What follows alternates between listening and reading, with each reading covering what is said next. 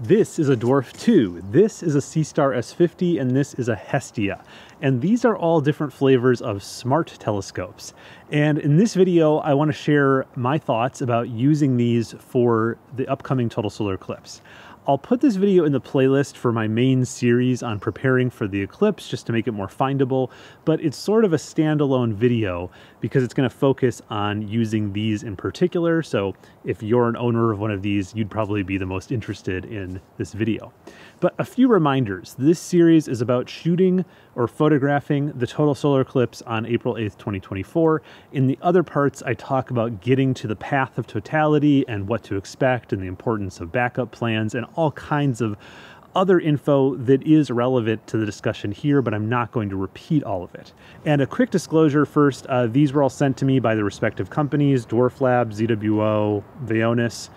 But other than being able to evaluate these products for free, there are no other strings attached. I can say whatever I want and no money exchange hands. So let's start with the Dwarf 2. This telescope has a unique finder in that the wide field uh, camera system here is active simultaneously with the telephoto camera, and both have their own solar filters. So the wide angle view shows up as this picture in picture on the app, and that makes it really easy to get the sun centered in the telephoto view. Uh, the dwarf does have tracking, which I found works quite well for keeping the sun roughly centered. And the solar filter mechanism here is magnetic. So that makes it really easy to remove for totality. I like that quite a lot. Uh, the Dwarf has manual controls over gain and exposure timing. So what I would suggest is find a combination of gain and shutter speed that gives you a properly exposed sun with this solar filter on, of course. And a properly exposed sun will be slightly brighter in the middle, darker on the limb, meaning the edges of the sun. And if there are sunspots, they should have nice contrast with the solar disk. And the sunspots will be also your best bet for focusing. Uh, and I haven't found autofocus works so well. You really probably want to manually focus on those sunspots. Now, what do I suggest for totality? With a glass filter like this, the proper exposure with the filter for the partial phases of the eclipse should be approximately the same exposure as the images for the innermost corona shots. And from there, you could then just start doubling the exposure time once totality starts to manually bracket and, and capture other aspects of the corona, like the middle corona and their outer corona. So what I'd suggest if you want to try this is pretend it's the start of totality and start changing your shutter speed and taking pictures a stop brighter, a st another stop brighter, and once you get to about five photos or a minute to a minute or two minutes in, stop. You'll stop looking at your, your phone.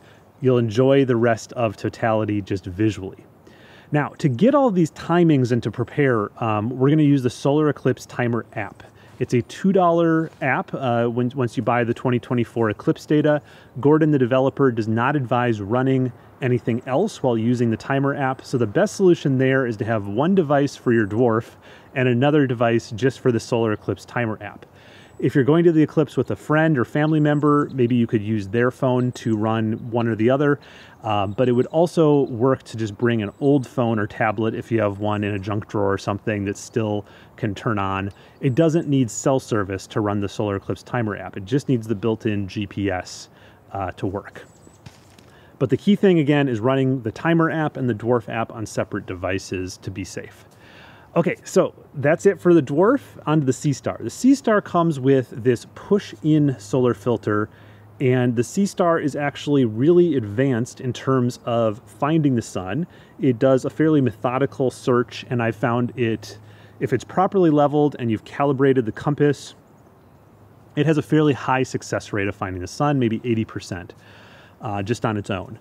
But for that other 20% of failure rate where I'm not understanding why it's failing, what I'd suggest is bringing a little solar finder like my downspout clip here that you can just tape onto the Seestar and that makes finding the sun manually really easy and then you would just use the on-screen controls to line it up. Once you found the sun manually and uh, you just tap this button to tell the Seestar that the sun is now centered and it will start tracking and keeping the sun centered in view. Now the Seestar doesn't give you much manual control in solar mode, not nearly as much as the Dwarf does in terms of shutter speed and gain and things like that. So during totality, I'm guessing the best bet is you could just use this little plus minus exposure control to get a few different kinds of shots. It is pretty tight framing on the sun, so I'm not sure if super long exposures would even look good because uh, the corona would be cut off by the sides here. The main thing I would practice with the Seestar is getting this solar filter off and on. Um, I don't know if you could modify it or something because it's really, really tight on mine. Of course, when you practice this, don't actually have the Seestar pointed at the sun, pointed away, you know, just the blue sky is good to practice. And I'd actually consider, if I was going to use this for the Eclipse, ditching the official Seestar solar filter entirely and making some kind of custom uh, DIY one that would fit over the whole front or something here. Um, I think that would be a lot easier to get off and on. Other than that, the tracking seems to work pretty well. It's a pretty hands-on experience uh, in, the, in the sense that there is a time-lapse mode, but that's not what I would use because that creates a video automatically. I'm not seeing a way uh, just to do an interval timer to take the photos. It seems that the only way to take stills in solar mode is to manually press the little shutter button. And just like with the Dwarf, I'd suggest having a separate device for the Solar Eclipse Timer app so that you know when to remove and put back on the filter. And it also announces all of the other interesting features of the Eclipse. And I'll say this a number of times because I think that, you know, it could be very easy and a real danger to just get lost in your phone with a smart telescope. Don't do it. You know, when you, to get this to work, if you hear the solar eclipse timer app say max eclipse, that means we're halfway through totality. And at that point, if you're still messing around with your smart telescope on your smartphone, you really should just stop. Put it down, make the priority uh, taking in totality visually for that last couple minutes because uh, you're going to re regret it if you just miss the whole event lost in your phone trying to take these pictures. Okay, and last up we have the Vaonis Hestia, and this one doesn't have tracking like these two, but it's also about half the cost of these. Uh, and it uses the camera on your smartphone to take the pictures. So your, your smartphone does have to be resting here on the Hestia they suggest using the blue sky without the filter on to get the camera system on your phone lined up with the Hestia.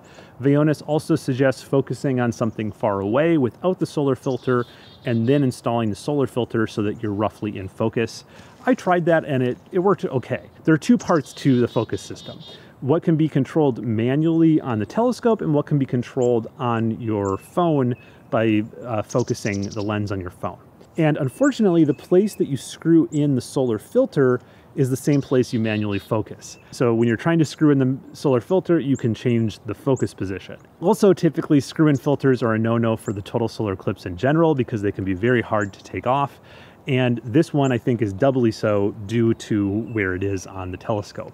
So again, just like with the Seestar, I'd consider a custom DIY filter for this too. I think it'd be even easier to design than with the Seestar.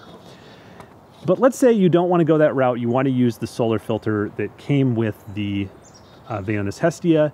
To not mess up focus, what you need to do is very carefully grab the focus ring with one hand, make sure it doesn't move while unscrewing the solar filter with your other hand.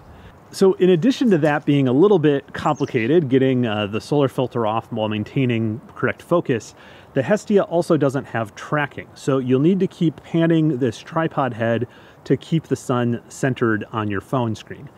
Um, and there's good news and bad news with that. The good news is Vaonis included a very effective solar finder here that snaps onto the side, very similar to my classic uh, downspout clip that I've been talking about in this series. So that makes refinding the sun quite easy or finding it in the first place. The bad news is the included tripod is very shaky just due to the spindly legs. So with any wind, there it really is vibrating a lot. And usually the way to fix that is to put the tripod low to the ground so you're getting out of the wind. But in this case, since we're manually tracking the sun, you probably want to be standing, not sitting on the ground. So, but maybe the best thing would be just to bring a chair, make the Vaonis uh, low to the ground, Another option maybe would be to weight down the tripod, but I'm a little bit worried with this tripod of doing that because it seems quite uh, flimsy. Another option is you can put the Vaonis on a different tripod. So I'd suggest something like a Bogen 3001. They go for about 50 to 60 bucks on eBay.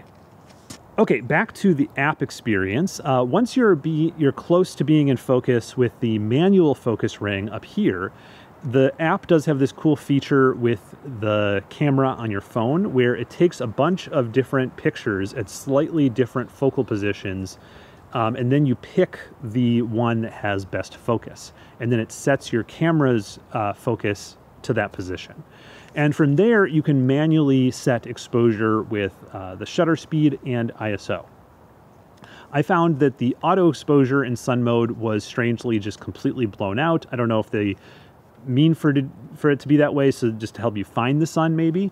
Um, another thing that I thought was a little bit strange about the Hestia app is there doesn't seem to be any interval timer or video feature in solar mode, in sun mode. So any photo that you take, uh, you just have to actually tap the shutter button. It's a little bit similar to the Seestar in that respect. The Seestar though does have a video mode. However, if they don't add that in an update to the app, um, the Hestia can actually, the Hestia physically can actually be used with any camera app on your phone. So I could do interval timing or video with Nightcap Camera, which also gives me tons of options for exposure control and the format that it saves in and everything like that. Like with the first two, I'd suggest having Solar Eclipse Timer app on a separate device. I think it's even more important with this one since you're uh, gonna have the phone tied up here on the telescope. And if you hear that max eclipse announcement, remember just stop paying attention to this and enjoy totality visually. So those are all the tips I could think of for using these smart telescopes for the upcoming total solar eclipse. But we now have a surprise special guest, Sarah from Sarah Maths Astro YouTube channel. And I've been chatting with Sarah about this topic of using smart telescopes for months now, and we're actually planning to meet up for the eclipse to do a possible follow up to this video. And Sarah is ahead of me in preparation with these because she actually live streamed the annular solar eclipse last year using the Seestar. And so here's Sarah with her perspective on using these smart telescopes for the total solar eclipse. Hi everyone, and thank you so much to Nico for having me. It is true, we have in fact been chatting about these three smart telescopes for a while now and have been testing them out. And as Nico mentioned before this, I was really fortunate to be able to test out the Seestar S50 with some awesome folks over at ZWO during the last annular solar eclipse in October. We were right outside of Flagstaff, Arizona, so we weren't necessarily in the full path of annularity, but it was more like 84% of coverage. But it was still super beautiful and really insightful in terms of kind of getting an understanding of how something like this might perform during the total solar eclipse. So, with that being said, the Seestar, of course, was really easy and quick to set up, and everything that you would need basically comes in this little carrying case.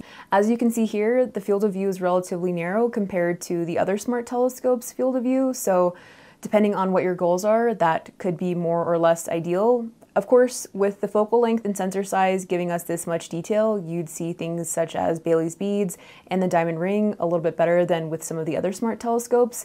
However, the trade-off is is that you're going to lose much more of the corona during totality, which the amount of that you want to see really comes down to your own personal preference. In terms of power, the Seestar S50 has a 6-hour battery life, which would probably check the box for most people depending on how much you wanted to image before and after totality, but I would still, you know, probably rely on some sort of external battery source just to be safe.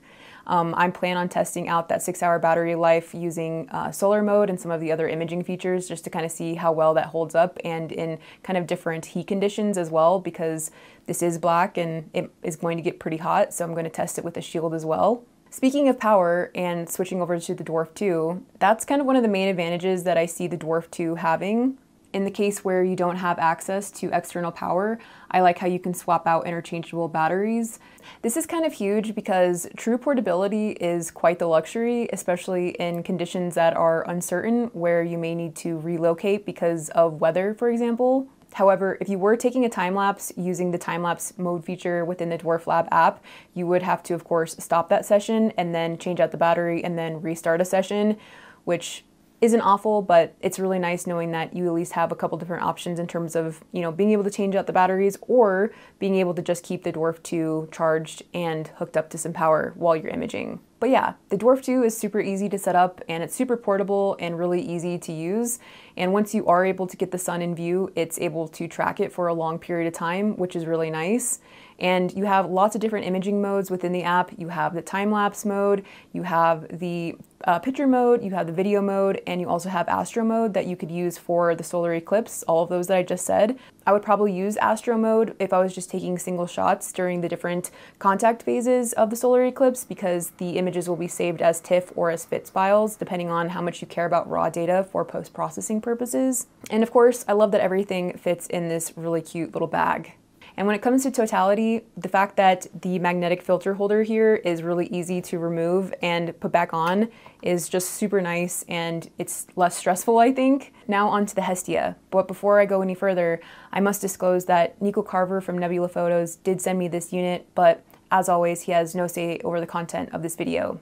All right, now with that out of the way, let's talk about how the Hestia might be of benefit to us during the total solar eclipse.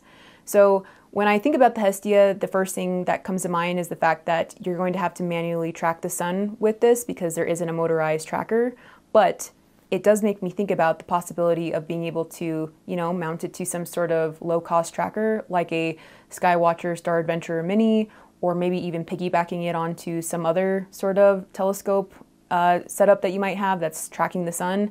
Would I necessarily recommend that you buy a tracker for this? Probably not, because that would probably cost just as much as getting either one of these, but it is something interesting to keep in mind if you already have a tracker and for some reason you aren't using it. I did see that Vaonis is going to be making a tracker later on at some point, but I'm not sure how far along they are with that.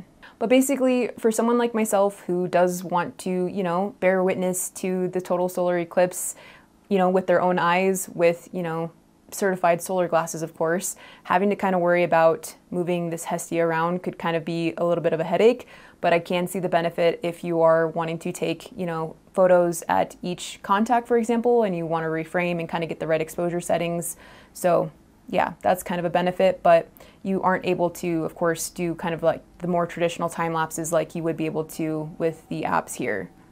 I think another consideration you have to have with the Hestia is that the image quality is also going to come down to, you know, how good your camera phone is, and you're also going to have to make sure that you have power for your phone. And the little magnet area up here was kind of a little bit difficult to use, so if you don't have a ton of dexterity in your hands, um, that's something to consider as well. Here's the first image that I took with it. It was rather windy and manually having to click the shutter button in the app could have added some shake, but really the shakiness made it difficult to focus the image, and that's kind of my uh, most memorable experience about this whole thing. Now, if I could only pick one of these to bring with me to the total solar eclipse, I would pick different ones for different reasons. I would pick the Dwarf 2 for the fact that it has a wider field of view and you would get a lot of the corona, which is really cool. But almost as equally, I really want to see a close-up shot of Baily's beads and the diamond ring, in which case that's why I would want to use the Seestar S50. You would still be able to see a little bit of the corona, but obviously not as much as the Dwarf 2. But in terms of power, either way, um, I would be fine because I am choosing to bring external power sources to supply power to these devices, which is going to eliminate a little bit of stress on my end because I would be stressing about that personally. Something that I think is really important to mention is that these smart telescope companies are very receptive to user feedback. That's evidenced by the fact that we see lots of, you know, updates to the software app. That's why we see a lot of updates to the firmware for the hardware. We're seeing new capabilities all the time, and we're also seeing, you know, these existing capabilities be approved upon. So that's really cool. And I think one of the inherent advantages of having hardware like this that is software enabled, we're always able to give that feedback. And the fact that they're so receptive is a very positive experience that I think is only going to continue to make these more and more successful. What I think is really exciting about this upcoming total solar eclipse is that it's the first time that all of these devices will have been, you know, in existence and be able to be tested in that kind of context together.